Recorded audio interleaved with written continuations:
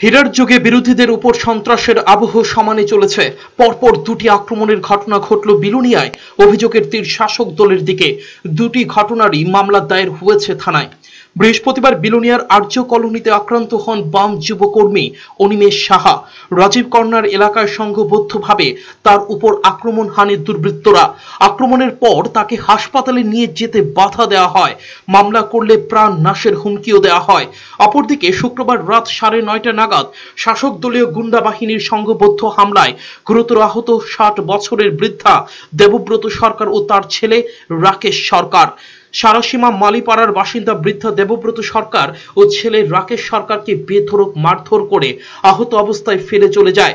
এছাড়াও চার হাজার টাকা ছিনতাই করা হয় তাদের থেকে। দুজনেই বিলুনিয়া হাসপাতালে চিকিৎসাধীন। তাদের প্রশ্ন, কি অপরাধে এই সংঘবদ্ধ হামলা? অপরাধকে বিরোধী মতাদর্শে বিশ্বাসী বলে? বাবা ছেলে আর বাবা। অতর্কিতভাবে তারা তিনজন আমার এটা করছে বাইকের উদ্দেশ্যে বাইক তো কিছু হয়েছে না ঠিক সাধারণ কিছু আমি এই মার প্রচণ্ড মারে আরম্ভ হয়েছে এই তপন দে বাবার নাম হ্যাঁ, বেনাল দে রাজীব পাল বাবার নাম লিট দিলীপ পাল আর কোন জায়গায় বাড়ি তাদের? জীবন দেবনাথ তারা বাড়ির সব এক জায়গাতে। জীবন দেবনাথ বাবার নাম হলো মনোরম দেবনাথ লেট অতর্কিত ভাবে এক জায়গা বলতে কোন জায়গা? সারাশি সারাসীমা আচ্ছা আপনার বাড়ি কোন জায়গায়? একই জায়গাতে একই একই ভাড়াতে। একই ভাড়াতে। সারাসীমা কোন ভাড়া? সারাসীমা মালিক ভাড়াতে কথা। মালিপাড়া আপনার নাম কি? আমার নাম দেবব্রত সরকার। হ্যাঁ? দেবব্রত সরকার। বয়স কত? সাইট ষাট। কি কারণে হামলা? কোনো পয়সা কোনো অর্থ বুঝলাম না। হামলা। হামলা হামলা করতে লাগছিল। কোন হামলা কোন যেতে লাগছে না? আমি বাড়িতে আমি ছেলে এবং আমি বাড়ি যেতে আসলাম।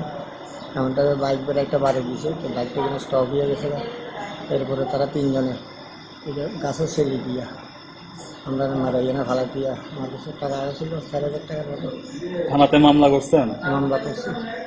আচ্ছা নাম টাম তো তারা অন্ধকারের মধ্যে তিনজন দাঁড়ায় গেছে তো এরপরে আমার আমরা বাইকের মধ্যে আমরা তো রানিং ছিলাম বাইকের মধ্যে একটা বাড়ি দিছে দনের পরে এরপরে আমরা দুজনের আমার আর আমার বাবারে যেমনি পাইছে এমনি মারছে। তার হাতে গাছ টাছ আসছিল এরপরে যাই সে লিটেল আসছিল তোমার নাম কি আমার নাম রাকেশ সরকার। রাকেশ? সরকার। সরকার। আর এই থানাতে মামলা করছ তোমরা? হ্যাঁ। মামলা করছ।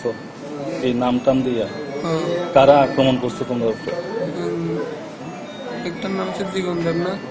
তারপর একটা দুটি ঘটনাতেই বিলুনিয়া থানায় মামলা করা হয়েছে।